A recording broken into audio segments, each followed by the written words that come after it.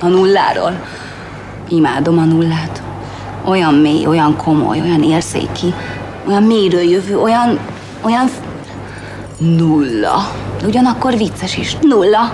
Egyszerre komoly, mély, érzék, olyan, mint egy igazi férfi, vagy nem is, mint egy, mint egy harang. Nulla. Jó, olyan, mint egy ritmus, ami megmagyarázhatatlan, ami csak egyszerűen elindul benned, olyan mélyről jön. A nulla mindenkit beindít. Válassza a favorit díjcsomagot a Tékomtól. Olyan láthatatlan.